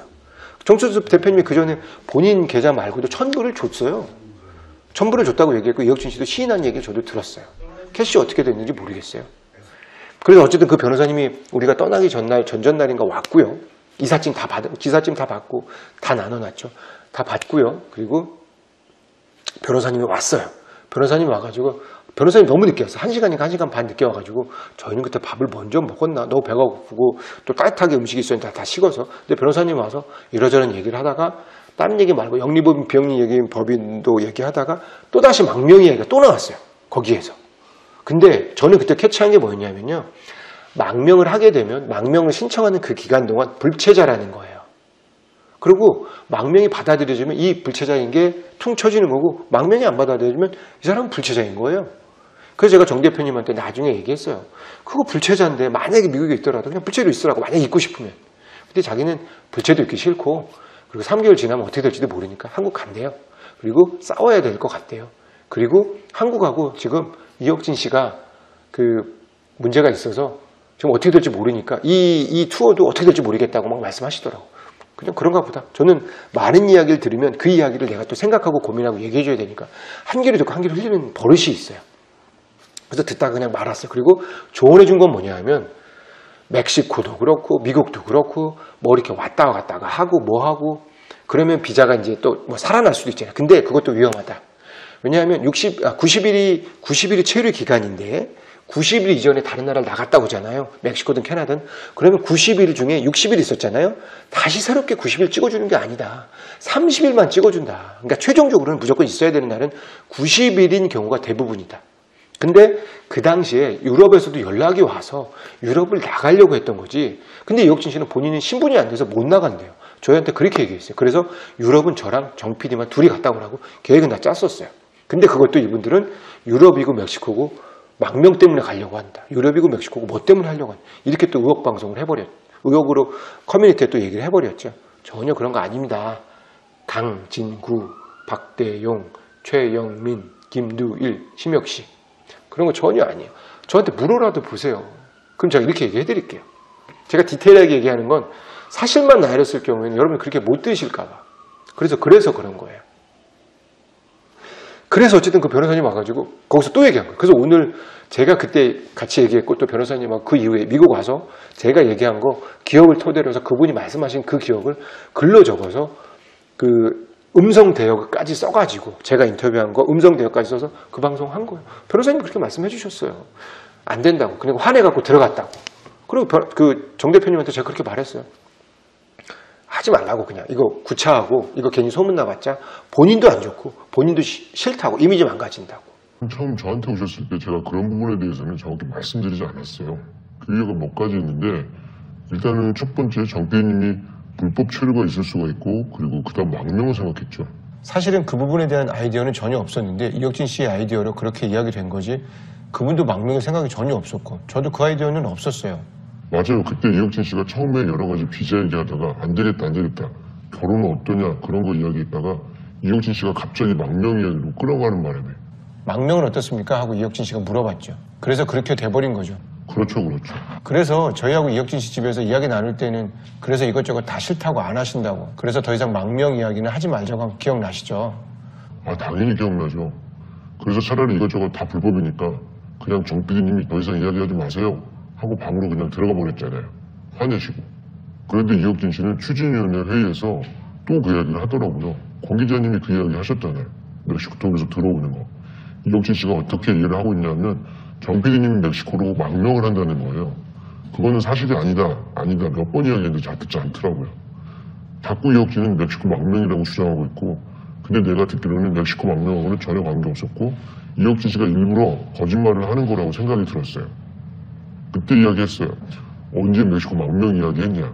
이렇게 이야기했음에도 불구하고 이혁진 씨가 자꾸 멕시코 망명 이야기하는 게 좀 이상한 생각이 저는 들었어요. 뭐 하여튼 그렇게 얘기하고 들어갔고요. 그리고 거기서 생뚱맞게 그 전에 저희가 금문교도 다녀오고 어디다 다녀왔는데 김구 같다는 거예요. 이혁진이 그 정 대표한테 김구 같다는 거예요. 완전 어이가 없었죠. 어떻게 김구 선생님하고 정천 대표님을 비교를 합니까? 정 대표님을 비교를 합니까? 정 대표님을 나무라 뭐 이렇게 하- 그러니까 낮게 보자는 게 아니라 그냥 그분은 그분의 역할이 있는 거고 이분은 이분의 역할인데 그렇게 비교를 해서 또 남들한테 혹시라도 저는 이게 뉴스가 됐을 거예요 아마 아, 그러니까 공갈 방송 가짜 방송 아 나 그럼 김구라고 비슷하게 해주니까 나 좋아서 이 사람이 우쭐에 있으면 김구라고 본인이 했다고 또 이럴 거예요 그리고 샌프란시스코로 안창호 선생이 넘어왔기 때문에 안창호 같다고 미주 교민들은 미주한인들은 다 그렇게 생각한다 제가 말도 안 되는 소리라고 했어요 저는 옆에 있다가 무슨 얼어 죽을 김구냐고 그런 말 다시는 하지 말라 근데 그렇게 얘기했어요. 그리고 하, 이런 말도 안 되는 소리를 계속 했고요. 이제 그러면서 이 망명 얘기가 그렇게 나온 거예요. 이 망명 얘기는 있지도 않은 얘기예요. 이 망명 얘기는 그 저기 누구야 그 저기 이혁진 씨가 계속해서 하고 다니고 그리고 저희가 시애틀 갔잖아요. 며칠 뒤에 시애틀에서 저는 일 때문에 하루를 더 묵게 됐는데 그때 말씀을 하시, 해주시더라고요. 거기에 있는 저희 숙박지를 제공해 주셨던 분이 말씀해 주시더라고요. 그 제가 변호사를 알아봤는데 그게 무슨 내용이에요? 이렇게 얘기하시는 거예요. 그땐 이혁진 씨랑 우리가 안 갈아줬거든요. 그래서 무슨 변호사예요? 그랬더니 아, 이런 말씀 드려도 될지 모르겠지만 하면서 말씀해 주시는 게 뭐냐냐, 뭐였냐면요. 이혁진 씨가 저희가 방문하기 일주일 전에 망명에 관련된 내용을 변호사랑 좀 물어봐 달라는 거였어요. 그러니까 그 정, 정 대표님이 미국에 있으려고 계획을 잡으시는데 망명 그런 관련된 전문 변호사랑 어, 어, 상담을 하고 싶어 한다는 거예요. 저나 어, 정지호 대, 정 대표님 전혀 모르는 얘기였어요. 그래서 제가 말씀드렸어요. 그럴 일 없다고. 이혁진 씨는 가는 데마다 자꾸 그렇게 얘기해가지고 저희가 곤란하다고. 너무 힘들다고. 그거 말씀드렸어요. 그러니까 황당해 하시더라고요. 근데 그분은 정말 진심을 다해서 또 구했어요. 제가 말씀드렸죠. 미국에 다른 데 계시는 분들 다 시골 분들이라고. 누군가가 얘기하면 더더군다나 정전, 정, 전, 정 대표님을 정말 믿을 수 있는 분이잖아요. 그분 이미지 보고 차- 알아보신 거예요. 그러면서 망명을, 망명을 제가 왜 웃냐면 망명을 잘 케이스를 받아주신 변호사를 섭외했다는 거예요, 또. 이렇게 지나가는 말로, 뭐 한 말로, 한 말을 이렇게 진심으로 받아들여서 알아보신 분들을 나중에 나쁘게 얘기하는 사람이에요. 그래서 제가 이혁진 씨를 지금 너무 안 좋게 생각하는 거예요. 전 지금도 사실 그럼에도 불구하고 이혁진 씨랑 풀 용의가 있어요. 대신 전화 녹음을 다 해서 진실을 밝히자. 내가 잘못한 게 있으면 잘못한 거 있다고 사과하겠다. 정 대표님이 잘못한 거 있다면 사과하게라고 사과하라고 얘기하겠다. 이혁진 씨가 그동안 잘못 판단해서 잘못 얘기한 것도 사과하시라. 끝내자. 이게 고소 고발 들어가고 개인적인 관계끼리 이러지 말자. 그리고 시공촉도 말려라. 다 사과하자. 사람 일인데 그 사람 일이 사람으로 간에 못 풀 게 뭐가 있냐. 그 얘기하고 싶어요. 사실은 제가 임마리 씨하고 통화했습니다. 통화, 통화했는데 많이 좀 감정의 앙금이 남아있더라고요.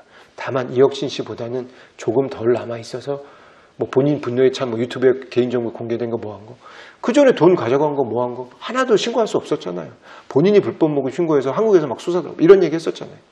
근데 그런 얘기가 다 와전된 거 있고 서로 오해한 거 많잖아요.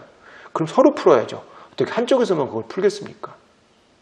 제가 말씀드리려고 하려, 하려고 하는 부분은 이를 부풀리고 키운 건 이혁진 씨예요. 정말. 그리고 그 부풀리고 키운 걸 받은 걸 한국에 있는 박대용 씨, 강진구 씨, 최영민 씨고요. 아, 박, 박대용 씨하고요. 시애틀에 있는 거기 시애틀에 있는 동안 그 지하방에서 얘기를 한 번 했어요. 이혁진 씨 문제, 제 문제, 박대용 씨, 온 김에 정천수 PD까지. 그때 멕시코 얘기도 나왔고요. 그때 망명이가 또 한 번 나왔고요. 그러니까 박대용 씨 아시죠, 여러분? 자기 얘기 들은 거, 제가 취재해서 멕시코에 관련된 얘기 이런저런 얘기한 거 짬뽕을 막 시킨 거예요. 그리고 이혁진 씨가 망명 얘기도 해라 뭐 이런 얘기 왔다 갔겠죠. 그러니까 이게 한두 번 듣는 얘기가 아니니까 진짜 같은 거겠죠. 박대용 씨가 다, 들어, 다 들었어요. 박대용 씨가 그때 제대로 들었으면요. 제가 무슨 말 한 내용인지 다 알아요. 저는 멕시코에 술집 애들이 어, 어, 비자를 어떤 식으로 하기 위해서 뭘 한다, 불법이다 취재했어요. 그 내용 말씀드린 거예요. 자세히는 말씀 못 드립니다. 왜냐하면 누군가가 이 범죄를 따라할까봐, 이 범죄인데 이거를 악용할까봐. 어쨌든 그, 그 내용 말씀드린 거죠. 일절 아무런 내용 말씀드린 거 없습니다. 저 제가 바보입니까? 이상한 내용 방송하게. 그리고 방송하면 완전히 오픈해버리죠. 여러분 제가 어, 제 전화 받았어요. 어제 제가 전화번호 오픈했잖아요. 그랬더니 워싱턴에서 연락이 왔더라고요. 어떤 회장님께서 몰랐다고 그동안. 근데 전화번호 오픈한 거 가지고 저한테 전화 주셨대요. 저는 사실 응원 전화도 뭐 문, 격려 전화도 문자도 받지 않는다고 했습니다. 왜냐하면 죄송하잖아요. 그냥 이 상황을 만든 상황이 어떤 이유로든 열린 공감이 죄송한 거예요. 저나 정 PD는 항상 죄송한 모드예요. 시청자들한테. 왜냐하면 어쨌든 이런 상황이 됐으니까. 저는 왜 죄송한지 저는 그냥 저는 좀 덜 죄송해도 되겠네요. 그죠? 어쨌든 죄송한 입장이에요. 근데 저분들은 죄송한 입장이 아니잖아요. 네가 잘못했다. 네가 잘못했다. 네가 잘못했다. 너만 끝나면 된다. 너만 조용히 하면 된다. 거기에 참전해 주신 분이 시타의 이종원 PD님이고요. 너무 죄송해요. 그분한테. 정말. 저희 때문에 구독자 떨어져 나가고, 저희 때문에 후원자 떨어져 나가고, 저희 때문에 싸워야 되고, 저희 때문에 가짜 거거가 막 밝혀지고, 저희 때문에 막 얘기하라고 막 떠들고, 말도 안 되죠? 그분은 워낙 그 싸움에 또 저희보다 더 파이팅, 파이터시니까 계속 저희가 평생 그 어떤 그 은혜 뭐 정말 갚을게요. 어쨌든요. 그 워싱턴에 계신 그분이 저희 방송을 봤다는 거예요. 보니까 이해가 된다는 거예요. 근데 그 전에 이혁진 씨가 거기 있는 단톡방에 막 떠든 걸 보니까 정천수 정말 나쁜 사람이네. 오해했다는 거예요. 그래서 저한테 미안하다고 얘기하시더라고요. 오해해서 미안했다고. 그렇게 얘기하셨어요, 실제로. 여러분, 진실은요, 드러나게 돼 있습니다. 하지만 그 진실을 밝혀나가는 과정이 너무 힘드네요. 거짓말 하나를 진실이라고 증명하기 위해서 진실 100가지를 대야 돼요. 근데 이 사람들이 거짓말 하나 한 거 잘못됐다고 얘기하면 사과 하나 안 합니다. 박대영 씨, 최영민 씨, 강진구 씨, 김두일 씨, 심혁 씨 무슨 사과했습니까 그동안? 저 사과 수타기 한것 같아요. 정 대표님 사과 수타기 한것 같아요. 진실은 드러나게 돼 있는데요. 진실을 바라보는 여러분들의 눈이 시청자의 눈에 정확하지 않으면 계속 쓰레기 짓하는 겁니다. 계속 유튜브 코인 빨아먹는 겁니다. 여러분 제가 한 말씀만 더 드리고 끝낼게요. 오늘 망명 얘기는 이렇습니다. 이런 진실이에요. 제가 알고 있는 건 최소한 이렇습니다. 다른 내용은 모르겠어요. 진해원 검사랑 정 PD님 말씀하시고 그냥 그쪽 거 들으세요. 저는 거기에 대해 알고 알고 하고 싶지 않아요. 다만 정 PD님 성격이나 품성을 봤을 때 사람들 너무 많이 쉽게 믿어서 배반도 많이 당하지만 자기 욕심으로 해서 뭐 막 이렇게 하진 않아요. 알았던 것 같아요. 뭐 이거 제가 확실하진 않으니까 뭐 사람 마음을 모르니까. 근데 제가 마지막으로 이제 말씀드리고 싶은 건 참전을 하시더라도 양쪽 걸 그대로 좀 봐주세요. 시타님처럼 참전을 하시더라도 저희 입장도 들어주세요. 굿모닝 칭- 충청의 정문영 기자님 제가 통화했습니다. 저희 영상 다 보내드렸어요. 그리고 나서 저랑 또 통화하기로 했어요. 제가 기자를 취재하는 기자잖아요. 별명이 그렇게 돼 있더라고요. 그리고 그 허재현 기자님한테 또 전화 드렸어요. 문자도 카톡도 보내고. 근데 허재현 기자님은 아직은 이제 어, 너무 정천수 대표가 비리가 많다는 거죠. 아직은 정천수 대표가 까지면 큰일 날 게 있다는 거죠. 그래서 제가 말씀드렸어요. 그건 그거고 대표에서 해임은 해임이다. 그럼 제자리에 갖다 놓고 얘기하자라는 식으로 이제 말씀드렸는데 허지영 기자랑도 그렇게 얘기했어요. 뭐 통화를 안 하신다고 하니까. 굿모닝 충청 그렇게 얘기했고. 그리고 앞으로도 강진구 기자, 박대영 기자, 최영민 씨한테 제가 전화드려서 그동안 얘기했던 거 물어볼 거예요. 신부님한테 사과했는지, 뭘 했는지, 뭘 했는지. 다 물어볼 거예요. 그때 제대로 대답 좀 해주세요. 사과하고 넘어가고 다음 거 까세요. 계속 의혹만 남발하지 말고. 여러분들 계속 지금 저희 쪽으로도 시청자가 늘어나고 있는 거 왜 그럴 것 같으세요? 이제 점점 시- 진실이 눈을 떠가는 거예요. 그리고 진보 매체들 참전해 주세요. 열린 공감 2년 만에 바짝 컸다고 저희 지금 망하는 걸 바라는 진보 매체가 있다는 얘기도 들었어요. 기존의 이제 기성 매체들도. 여기 참전해서요. 빨리 정리해 주세요. 누구 잘잘못인지, 어느 놈이 더 나쁜 놈인지. 다 들어보시고 참전해서 저희 편 들어달라는 거 아닙니다. 제대로, 제대로 된 거 얘기해달라고요. 한쪽 얘기 듣고 눈 감고 보면 안 됩니다. 말이요 경주마가 이렇게 여기 앞에 보고만 돌리고 이렇게 말씀하게 돼 있잖아요. 싸울 땐 여기밖에 갈 수 없어요. 그럼 이 싸움을 여러분들이 좀 이거 제끼고 말려주시라고요. 더 까집어내서 말려주시라고요. 이렇게 방관자처럼 하고 있을 때 지금 시타님 꼈다 그래서 개인 그거 됐죠.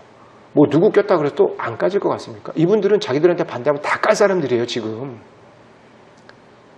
지금 정천수 피드랑 저랑 둘이서 단 둘이서 이 사단이 났을 때 쓰러졌으면 다음은 여러분들의 순서예요. 잘못된 거 잘못됐다고 말하고 반성할 거 있다 반성할 거 있다고 말하는데 그거에 대해서 지금 까고 있잖아요. 하여튼 제가 오늘 말씀드린 건 여러분 여기까지고요. 팩트체크 일곱 번째 시간 약간 번외로 나갔는데 다음에 그들의 그들이 말했던 그 미주 르포들의 실망을 희망으로 여기까지 하겠습니다, 여러분. 시청해주셔서 고맙습니다.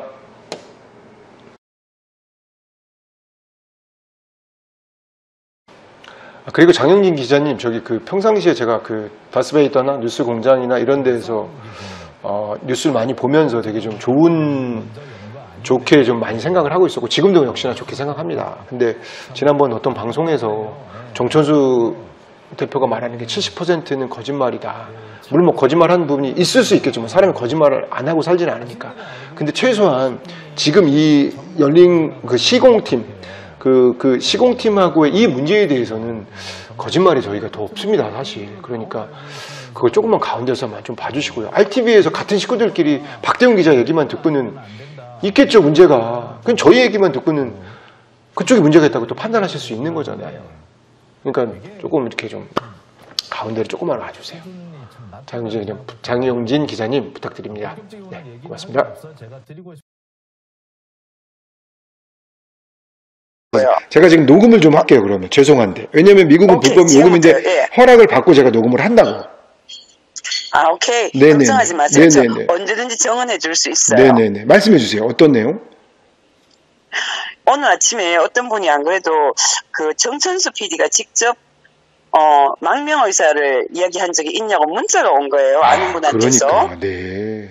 그래서 제가 이게 무슨 일인지 몰라갖고 글로 쓰려고, 하- 어, 문자로 치려고 하니까 너무 네. 길어서 직접 전화를 했어요. 강 선생님 이게 왜 그러냐면 야, 나는 어제부터 어제부터 이게 한국 쪽에서 가- 예. 또 이제 다른 뭐 배- 횡령했다 뭐 했다 뭐 과거가 어떻다 이러더니 어제부터 또 망명 얘기를 또 끄집어낸 거예요 얘네가 우리가 얘기한 것도 아니야 저 이거에 대해서요 네. 분명하게 말씀드릴 수 있어요. 음. 왜냐면 이 사건 시작에 있어가지고 음. 제가 직접 이혁진 씨한테 어, 전화도 받았고 그렇죠. 어, 문자도 주고 받았기 때문에 저는 이거 시초를 알고 있어요. 네. 일단 그 전에 먼저 무슨 일이 있었는지 말씀을 드릴게요. 네네 여기에 솔렉에 계실 때 막 제가 걱정이 되더라고요. 14건이나 고소 고발도 들어가 있고 하니까. 네. 그래서 정 PD님한테 한번 물어봤어요. 네. 정 PD님 지금 고소 고발이 있고 반드시 그 사람들이 감옥에 넣으려고 할 텐데 네. 그럼 이 시민 포털 문제는 어떻게 진행이 될까요? 네. 그러니까 정 PD님께서 말씀하시기를 그러니까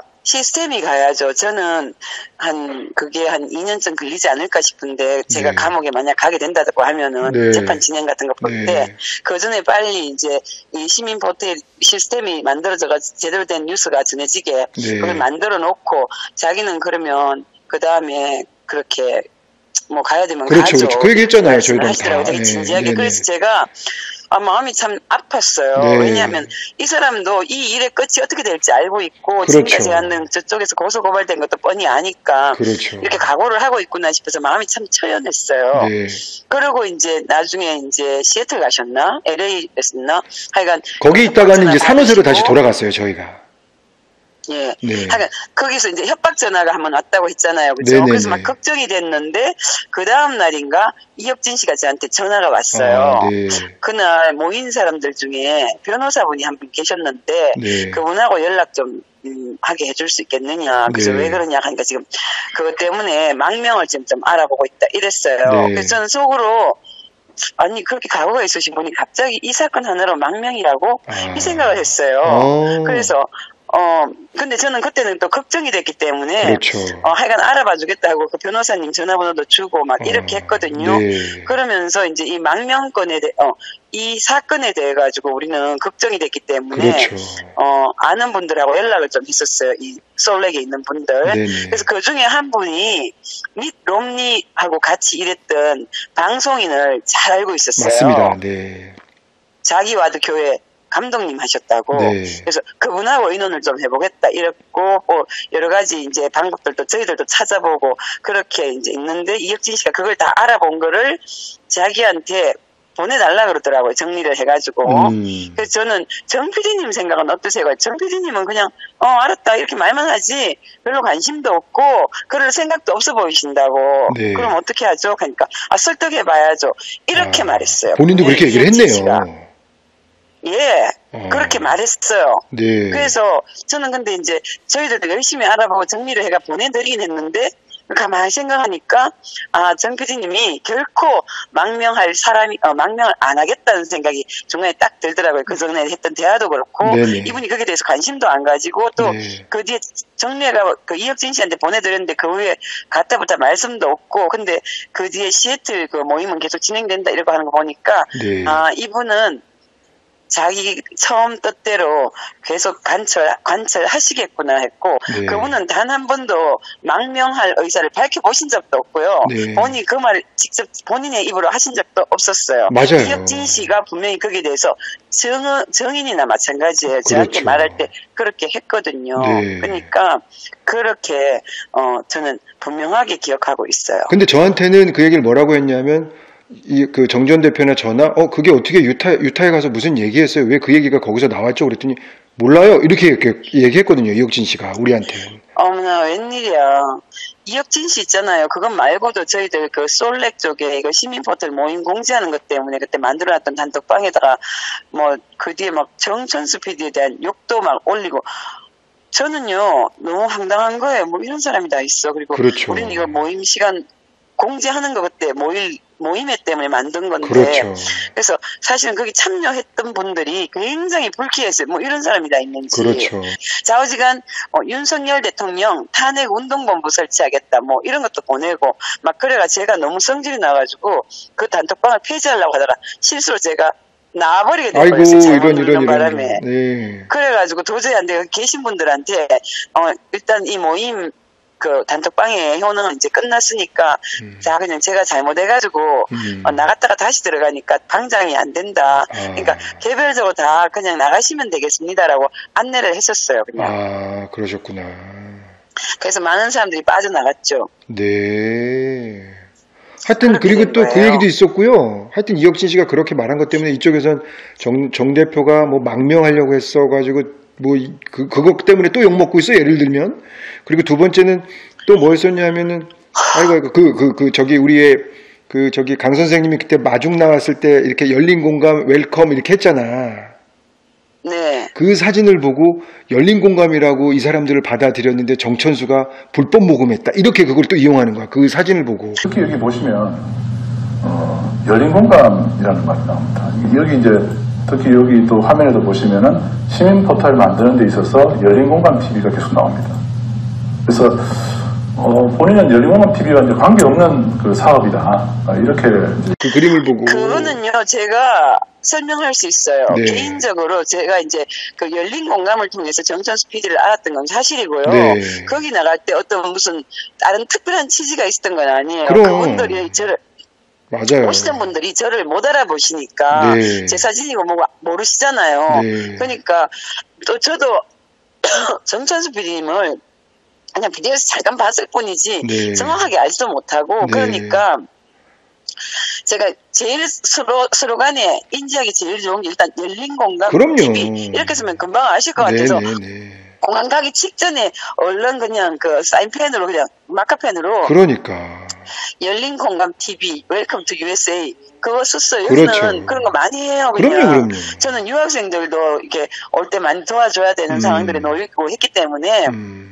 아는 분이 좀 부탁하고 이래가지고 갈 때 그냥 그렇게 이름 쓰고 쭉 하고 이렇게 하는데 그냥 정천수 PD 쓰기가 좀 그럼요. 거기 뭐 이혁진 씨도. 가고 저도 잘 가고 그런데 한 사람만 그렇게 이름 쓰기도. 애매한 거고. 그래서 그냥 편안하게 그냥 그리고 여러 사람이 온다고 했기 그렇죠. 때문에 그냥 열린 공감 제가 그다가 정천수 PD 뭐 무슨 기자님 그럼. 이혁진 씨 이거 다 쓰는 거 좀 웃기기도 하고요. 그럼요. 그래서 그냥 두 쪽에서 양측이 가장 쉽게 인지하는 거로 열린 공감 TV 이렇게만 썼어요. 거기에. 대해서 무슨 큰 의미를 부여한 건 아니었어요. 네. 근데 이제 그쪽에서는 열린. 되시는 분들이. 있다면 이의 제기하고 싶으시면 네. 직접 전화하라고 하세요. 제가 대답해 주겠다고요. 네네네. 근데 그 사람들이 이제 말하기를 봐라. 열린 공감, 열린 공감인 줄 알고 사람들이 마중 나왔지. 누가 정천수를 마중 나갔냐. 막 이러는 거야. 아, 그 너무 그렇게 깐깐하게 굴지 말라고 하세요. 네. 최영민 씨나 강진구 씨나 그렇게 사는 거 아니에요, 사람들이. 네. 아직도 젊으신 것 같은데요. 저도 나이는 좀 됐어요. 아. 네네. 근데 그렇게 사시는 거 아니라고 하세요. 네. 서로 다들 좋은 마음으로 그럼요. 좋은 뜻을 모은 건데 이런 식으로 모으지 마. 이런 식으로 선동하라고 하지 마세요. 네. 진짜 그렇게 저희들은 진짜 순수한 마음을 했고 정천수 PD도 이야기할 때 순수했고 저희들이 바보 아니거든요. 그때- 저희들도 이국 생활에서 그렇죠. 이국 나, 이국에서 이렇게 뿌리 내리고 살기까지 저희들도 치열하게 살았어요. 네. 강 선생님 그때. 예, 각- 그때 강 선생님 저희들 설명회가 끝난 저 끝나기 전이나 끝난 후나 뭐 저희들에 대한 이미지는 어땠어요? 뭐 나쁜 이미지까지 다 포함해서 얘기해 주셔도 돼요. 그때 분위기 상황 뭐 이런 솔직히 거. 말해갖고 저는 아 이거 좀 말씀드리기는 좀 그렇지만 솔직히 말할게요. 정천수 PD 같은 경우에는 음. 좀 고지식하게 보였고요. 그냥 네네네. 딱 자기 네. 좀막 날라리 같은 느낌은 없었고요. 그렇죠. 강 기자님은 그냥 사람 좋아 보이셨고요. 네. 이혁진 씨는 저하고 동생하고 가끔씩 그래서 저분은 약간 놀던 물인 것 같다 이렇게 이야기는 했어요. 미안해요. 뒷담화 네. 깐것 같아가지고. 아니에요, 아니에요. 그렇지만 네. 저희들이 볼 때는 그냥 그렇게 그냥 생각해서 그리고 실제로 뭐 음. 그때 설명회 듣고 설명회 이렇게 듣고 느낌 어땠어요? 설명 그것도 막 오해하는 분들이 너무 많거든. 그때 막 무슨 이상한 말 했다. 나쁜 말 했다 이런 거. 진지했었어요. 진지했고 순수했어요. 왜냐하면 지금도 그때 설명회 왔던 사람들하고 이렇게 이야기하고 있는 사람들이 있는데 이 네. 이제 이 일이 터져가 저희들도 다 당황했어요. 사실은 굉장히 그렇죠. 걱정했고요. 네. 그러면서 우리가 지금 잘못 말려 들어갔나 하고 이를 꼬박꼬박 짚어보면서 음. 그 사람들 중에 한 명이 그런 이야기를 했었어요. 분명히 그때 우리가 이야기 듣고 할 때 그 사람한테 어 뭔가 사심이 있다든가 이걸 가지고 돈을 튼다든가 이런 종류의 느낌은 전혀 받지 못해서 사람의 인상도 그랬고 음. 그리고 그럴 사람이 그런 식으로 하진 않는다. 네. 여기 교포사에도 사, 사기 되게 많아요. 아시잖아요. 맞습니다. 맞습니다. 네. 근데 사기꾼은 그런 식으로 하지 않아요. 네. 음. 정확하세요. 좌우지간 참 미안한 말씀이지만 네. 네. 많은 미주 교포들이 기본적으로 그 조국 교수 사태 때 굉장히 가슴 아팠고요. 저도 그랬어요. 네. 언론이라는 게 정말 이따위가 될 수가 있나. 이건 네. 진짜 찌라시 번도 못한 수준이라고 생각했고 네. 그게 굉장히 붕괴를 했고요. 네. 그래서 이번에 그 어디 좌우 진영에 치우치지 않은 올바른 언론이라는 말에 네. 굉장히 마음이 많이 갔어요. 왜냐하면 한쪽으로 치우친 언론 때문에 네. 굉장히 그 말도 안 되는 일들이 벌어졌기 때문에 네. 저희들이 이국당에 있으면은 애국자 돼요. 어쩔 수 없이 그럼요. 우리나라가 잘 돼야 우리도 자부심도 생기고요. 네. 괜히 좋은 거예요. 네. 그래서 정말 그런 좋은 마음으로 다 모였어요. 아 시다시피 그날 솔랭 모임에서 사람들이 음식 많이 해왔잖아요. 네네네. 다들 정말 기쁜 마음으로 해가지고 그러니까 저희가 그렇게 극진히 대접 마음으로 받은 게. 야외에서 그렇게 극진히 대접 받은 것도 처음이었고 너무 감동했거든요, 사실. 너무 죄송스러웠고 오히려. 저희는 진짜 그 한국에 대한 정말 애정이 있었기 때문에 그렇게 그러니까. 했었어요. 네. 근데 나중에 이렇게 뒤집으면서 제가 제일 속상한 게 뭔지 아세요? 네. 정말 속상한 게 많은 사람들이 그랬어요, 여기서. 우리 정말로 한, 한국을 위해서 좋은 마음으로 좋은 일 하려고 했는데, 이제는 민주 유튜버라 해도 믿기가 참 힘들게 됐다. 맞습니다. 이런 말씀까지 아, 하셨어요. 저도 그렇습니다. 저도 사실은 이번에 일을 겪으면서, 아, 민주 진영 유튜버라도 한번 글러볼 필요가 있다는 그런 생각을 했었어요. 그리고 네. 사람들이 다 열광하고 의롭게 보이는 사람일지라도, 음. 사람은 변질될 수 있구나 그 생각도 네, 했어요. 네. 저는 솔직히 말해갖고 저, 저희들 정말 이렇게 될 줄 몰랐어요. 저는 강진구 씨도 참 믿었어요, 솔직히. 그리고 네. 자- 아시잖아요. 많은 사람들이 그래도 열린 공감 안에 공규가 없게 우리가 가능하면 서로 좋게 마무리될 수 있도록 노력하자 이렇게 했었어요. 그런데 그럼요. 결국은 이렇게 되더라고요. 맞아요. 저도 사실 개인적으로는 앞으로 한국 쪽에 어떤 정치적인 어 정치적인 건 아니었는데 이거는 분명히 앞으로 한국에서도 좀 뭔가 바른 언론 이야기할 때도 한 번 더 생각해봐야겠다 이런 생각이 지금 많이 들거든요. 맞아요. 막 뭐든 이제 다 뭐, 뭐든 믿을 수 없게 됐어, 정말. 그렇게 돼버린 거예요. 음. 유감스럽게도 강진구 씨, 최영민 씨 본인들이 그렇게 옳은 것을 위해서 노력한다고 하셨는데 본인들이 굉장히 여기다 찬물 끼얹으신 상황이 돼버렸고요. 음, 그렇게 됐어요. 유감스럽지만 상당히 그렇게 됐어요. 맞습니다. 아이고, 참. 그게 제일 속상해요. 딴 것보다. 맞아요. 더더군다나 정말 이렇게 미국 쪽에서 이렇게 관심 있는 그 저기 한인들 몇 안 되거든요, 사실. 근데도 그렇죠. 런 사람들한테 이렇게 하는 건 아니지. 그리고 그분들이 돈을 그런 식으로 해소해 가가지고 그렇게 돼버린 것도 너무 경솔하셨고요. 네. 저희들도 이 일 터지고 난 다음에 웰스 파고 쪽에 알아보고 전화하고 다 했었어요. 왜냐하면 동생이 금융 쪽에서 일했기 때문에 아, 잘 알고 네네, 있거든요. 네, 네. 그래서 좀 더 정확하게 알기 위해서 상무까지 연락하고 다 해봤었어요. 음. 그런데 있을 수 없는 상황이었고요. 그리고 아. 그 자기 혼자 그걸 뭐 인출하고 횡령하고 무슨 수로 그렇게 해요? 솔직한 말로. 그럼요, 그럼요. 미국에 와서 살아보신 분들은 다 아실 거예요. 네, 맞습니다. 뭐 진짜 말 되는 걸 갖고 갖다 붙여야죠. 맞습니다, 맞습니다. 그리고 같이 일하는 사람한테 그 좀 더 좋은 여건들을 만들어 좀 더 좋은 핑계를 대시지 음. 너무 그거 유치하지 않나요? 사실은 사람이 인간적으로 그래요, 맞아요. 불만 있으시면 저한테 직접 전화하시라고 하세요. 저 음, 대답 받아줄게요. 아. 어디 알아봤는지도 알아봐 줄게요. 음, 진짜 정말 사람에 대해서 참 회의가 생겼던 순간이에요. 네. 알겠습니다. 아이고, 말씀을 너무 잘해주셔가지고. 뭐, 하여튼, 뭐, 그동안 저, 저기, 하시고 싶은 말씀 많으셨네. 어쨌든, 그거에 대해서도. 저랑도 통화 잘하셨네, 오랜만에. 아유. 굉장히 속상한 거 많았어요. 지켜보면서. 음. 이렇게 좋은 의도가 이런 식으로 그것도 같은 회사에 있던 사람이어서 이런 식으로 말도 아닌, 아닌 걸로 진짜 음해되고 왜곡되고 우리는 뭐가 되는 거예요? 미국에 살고 있던 아. 그렇지. 사람들, 시민들은 완전 그 바보 취급한 거야, 바보 게 취급. 어. 외국인이기 때문에 아무 상관이 없는 거예요. 음, 그러니까, 맞아요. 외국에 나가면요, 사실은 다른 나라 사람들보다 우리가 더 한국에 대해서 애정이 많아요. 그럼요. 한국 잘 되기 진짜 바래요. 저는 한국에 지긋지긋해서 떠났던 사람이거든요. 음, 제 애가 장애가 있어가지고 음. 너무 지긋지긋해가 떠났어요. 그러니까. 그런데 세월이 지나고 나니까 아니 그때도 딱 오니까 그래도 한국에 대해서 아 내가 애정이 있었구나는 생각이 들었고요. 음. 지금도 그래요. 근데 참 이번 기회 때 많은 생각들을 다시 해보게 됐어요. 그러네요. 아유, 하여튼 너무 감사하고요. 뭐 지금 네. 그래도 이렇게 원래 있었던 일 그대로 말씀해 주시는 것도 사실 쉽지가 않거든요. 근데 이제 아니, 어쨌든 괜찮아요, 저는. 너무 감사하고. 음, 제가 잘못한 거 하나도 없고요. 음. 문제가 될 거 하나도 없다고 생각해요. 저는 있었던 그대로, 들었던 그대로, 여기서 사실 그대로 그렇게 음. 이야기했어요. 다른 한 가지 다른 거는 뭐 그때 봤던 인상 어떠냐 그건 상당히 주관적인 거지만요. 네네네. 주관적일 수 있잖아요. 우리가 볼 때는 그랬다는 그럼요, 거고 그럼요. 제 경험을 기반으로 해서 그랬다는 거지만 네. 나머지 있었던 사건 이야기하는 건 다 팩트만 이야기 드렸어요. 네네네. 아, 고맙습니다. 알겠습니다. 네네. 감사합니다. 고맙습니다. 네, 네.